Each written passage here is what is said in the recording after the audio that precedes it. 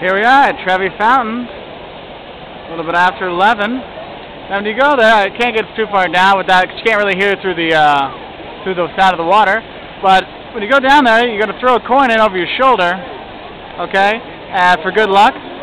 But it's a really nice thing. It's one of my favorite places to come to. Have a nice time here. Of course, getting pictures here is sometimes a little difficult because you have the massive tourists. And it's still relatively early on a slow day here. So you can imagine when it's busy in the summer, gets kind of hard. So, and also it's another good pickpocket place, very popular for them. So be careful here. Anyway, so there you go, Trevi Fountain. Rome in a day. Here, keep it coming.